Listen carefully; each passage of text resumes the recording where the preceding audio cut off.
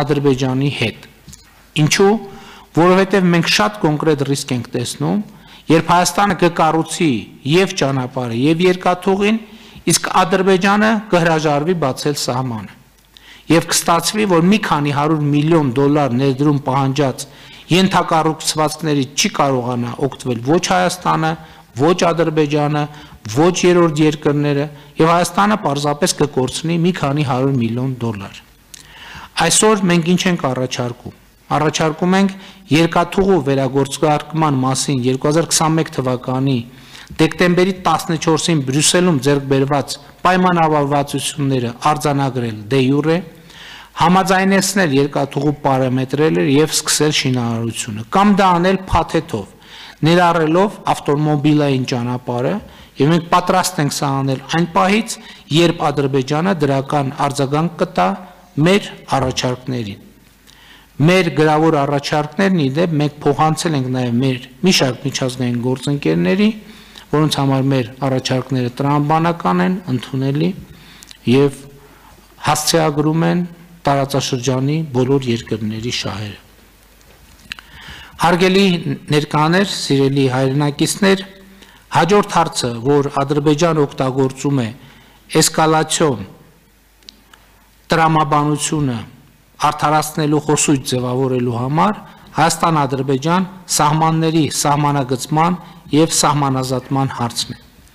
2021 թվականի նոյեմբերի 26-ին Սոչիում տեղի ունեցած Երակոմ հանդիպման արդյունքներով Ռուսաստանի Դաշնության նախագահ, Ադրբեջանական Հանրապետության նախագահ եւ Հայաստանի Հանրապետության վարչապետը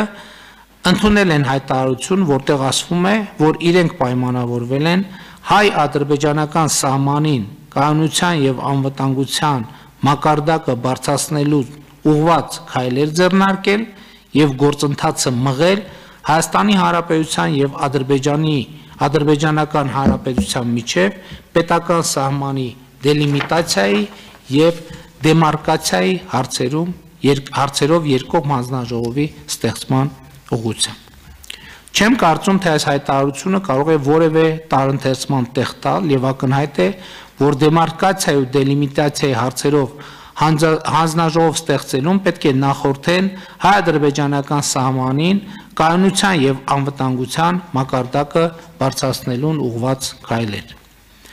Ադրբեջանը նման միջոցառումների վերաբերյալ ոչ մի առաջարկ չի արել։ Հայաստանը, ինչպես գիտեք, հանդես է եկել խորհրդային ժամանակների հայ-ադրբեջանական սահմանագծից զորքերի հայելային յետքաշման, այդ սահմանագծի պահպանությունը սահմանափակ թվող սահմանապահների հանձնելու եւ սահմանի նկատմամբ միջազգային մոնիտորինգ իրականացնելու առաջարկով։ Ադրբեջանը միջև օրս այդ առաջարկին պաշտոնական պատասխան չի տվել։ Երորդ երկրներից ստացված տեղեկատվությամբ մեր առաջարկը ընդունելի չէ Ադրբեջանի համար։ Այս հարցում սակայն մենք եղել ենք եւ կանք մաքսիմալ ճկուն եւ հետքաշման մի քանի բանաձևեր նույնպես առաջարկել ենք։ Ադրբեջանը կամ չի ընդունում, կամ չի արձագանքում այս առաջարկներին։ Ինչ է սա նշանակում։ Փաստացի նշանակում է, որ փորձում է սահմանին լարվածությունը եւ ռազմական գործողությունների վերսկսման հնարավորությունը պահել նաև սահմանագծման գործընթացի ժամանակ Հայաստանի նկատմամբ տարածքային պահանջներ ձևակերպելու եւ այդ պահանջները չբավարարելու պարագայում ռազմական սադրանքների դիմելու համար։ Սա անընդունելի մոտեցում է։ Ամեն դեպքում կարծում եմ անհրաժեշտ է սահմանային իրադրության միջազգային մոնիտորինգի մեխանիզմ գործարկել Մենք այդպիսի մի քանի տարբերակներ ենք առաջարկել, այդ թվում եւ Ադրբեջանին, եւ մեզ համար ընդունելի կլինի այդ տարբերակներից ցանկացածը, որը կընդունի Ադրբեջանը։ Հարգելի ներկաներ, սիրելի հայրենակիցներ, վերադառնալով Լեռնային Ղարաբաղում ստեղծված իրավիճակին, ուզում եմ արձանագրել, որ Ադրբեջանի զինված ուժերը բացի այն, որ ներխուժել են Ռուսաստանի Դաշնության խաղապահ զորախմբի պատասխանատվության գոտի շարունակում են Լեռնային Ղարաբաղի մի շարք գյուղերի բնակչության նահաբեկող հայտարարություններ անել ամենօրյա հայտարարություններ անել բարձրախոսներով։ Սա նույնպես տեղի ունենում խաղապահների աչքի առաջ։ իսկ բարձրախոսներով մարդկանցից պահանջում են լքել իրենց տները, հակառակ դեպքում սպառնալով ուժի գործադրմամբ նրանց հեռացնել այնտեղից։ Սա էթնիկ զտումների ակնհայտ պահանջ է։ Հայ առաքելական քրիստոնյա հավատքի բնակչություն ունեցող գյուղերի բնակիչների համար նույնիսկ գիշերային ժամերին ադրբեջանցիները բարձրախոսներով մուսուլմանական ազան են միացնում։ Մենք իհարկե մեծ հարգանք ունենք իսլամական կրոնի եւ քաղաքակրթության նկատմամբ, բայց այնինչ անում է Ադրբեջանը, մարդկանց խղճի եւ կրոնի ազատության նկատմամբ բռնություն է, կրոնական ատելություն հրահրելու միջոց եւ ի վերջո վիրավորում է մեր հայրենակիցների կրոնական զգացմունքները։ Վերը ես արդեն անդրադարձա Լեռնային Ղարաբաղը հայկական ամեն բանից ազատելու Ադրբեջանի քաղաքականության։ Այս համատեքստում հիշատակման արժանի է Ադրբեջանի մշակույթի նախարարի փետրվարի 23-ին արած այն հայտարարությունը, թե աղվանական հոգևոր տաճարների վրա հայերի գրած կեղծ հետքերի վերացման համար ստեղծվել է աշխատանքային խումբ, բաղկացած ալբանական պատմությունը ճարտարապետությունը իմացող մասնագետներից։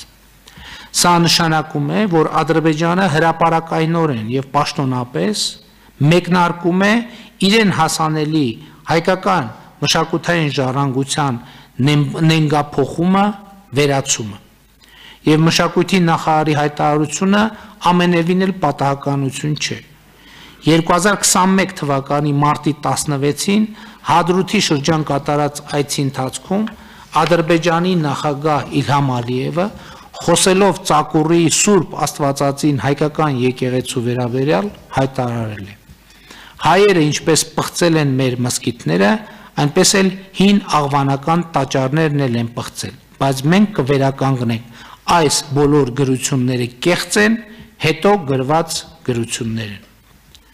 Ադրբեջանի այս քայլերը բացահայտ մարտահրավեր են ՄԱԿ-ի արդարադատության միջազգային դատարանի կողմից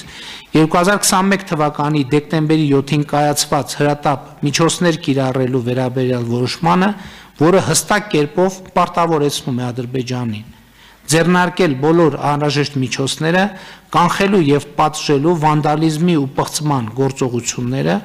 ուղված հայկական մշակութային ժառանգության ներառյալ եկեղեցիների եւ այլ պաշտամունքի վայրերի, հուշարձանների, տեսարժան վայրերի, գերեզմանատների եւ արտեֆակտների դեմ։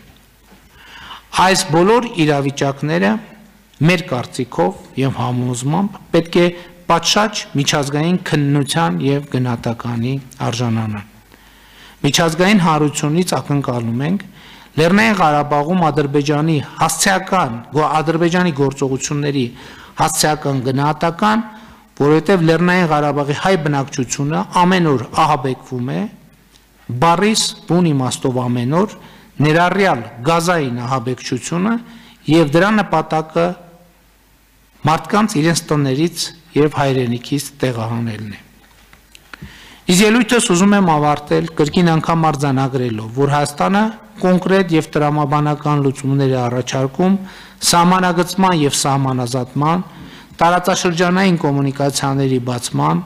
Լեռնային Ղարաբաղում ռազմական էսկալացիան բացառելու առումով եւ մեզ մեր ժողականության կամ պայմանավորվածությունները չկատարելու մեջ մեղադրելու որևէ հիմք կամ հիմնավորում չկա։ Կրկին անգամ Հայաստանի Հանրապետության պատրաստակամությունն եմ արտահայտում Ադրբեջանի հետ ստորագրելու խաղաղության պայմանագիր։